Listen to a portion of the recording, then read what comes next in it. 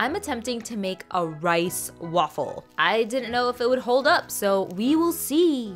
What do you think? Will it hold? I'm just adding plain day old rice that I pulled out from the fridge in the waffle iron. While I was spooning it out, it felt dry and crumbly, so I was thinking there's probably no way this would hold together. I got this idea because viewer JB commented on the pork floss rice ball video, saying that I should put it in the waffle iron. So, uh, I guess it held. Honestly, I'm really impressed and surprised that this worked without an egg to bind it together. I could even hold it and flip it upside down. Alright, what else should we do with this rice waffle? Ingredients, flavors, we could put it on the rice or in the rice. If you have any ideas, let me know and we'll try it.